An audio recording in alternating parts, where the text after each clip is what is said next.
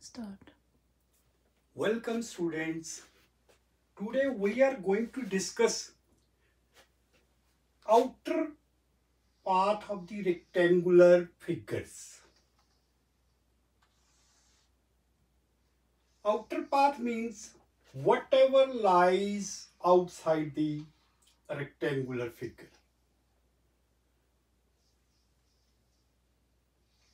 We are going to discuss it by the very simple method that is a special method to find outer perimeter of this rectangular figure and area of rectangular figure.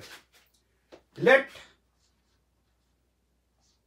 L equal to length. Length means length of the interior figure. That means 100 meters. It is our supposition. Breadth equal to 50 meters.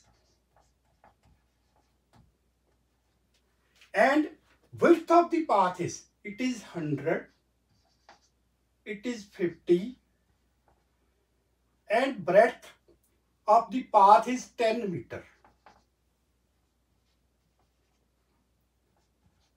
This is special method to find perimeter of the outer figure. That is outer part.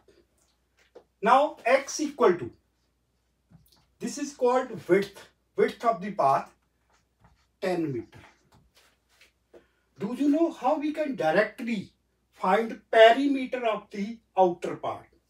Outer part of this figure perimeter equal to twice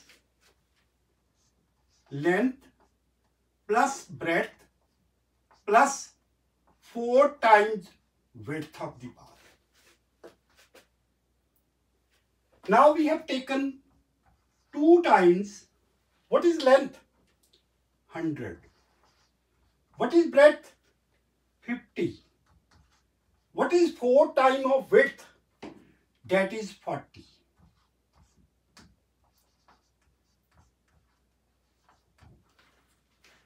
Now we are taking sum of these numbers 100 plus 50 plus 40 that is 190 it become 380 meters.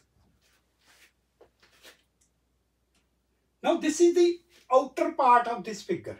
Outer part means we are considering this line. What it will be total of this length now, similarly, by shortcut method, we can find area of this path, outer path. Area of outer path is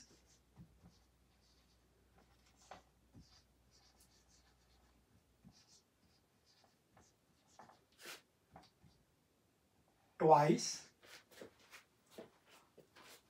length plus breadth plus 2 times width into width of the path. Once again, area of the outer path. Outer path means this area. It is equal to twice of length plus breadth plus 2 times width of the path multiplied by width of the path. Now we are taking these values 2 times. What is length? 100. What is breadth? 50. What is width of the path? 10. 10 into 2? 20. It is multiplied by 10. We write it as square meter. 2 multiply 170 multiply by 10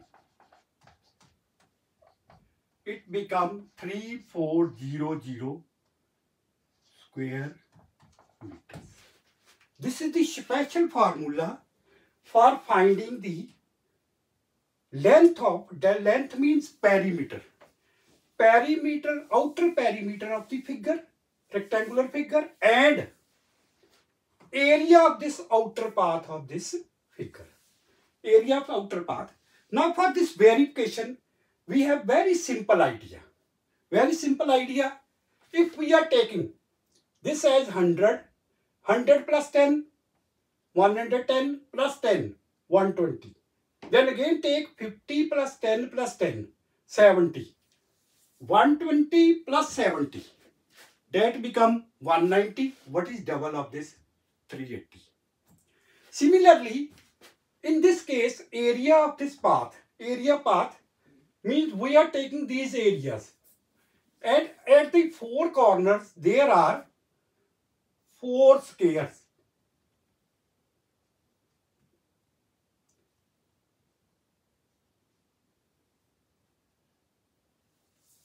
Like this.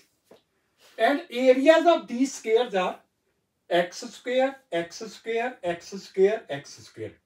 That means 2 into 2x, that is 2x square, 2x into 2x into 2, that is 4x, 4x square. Then it become total area 3400.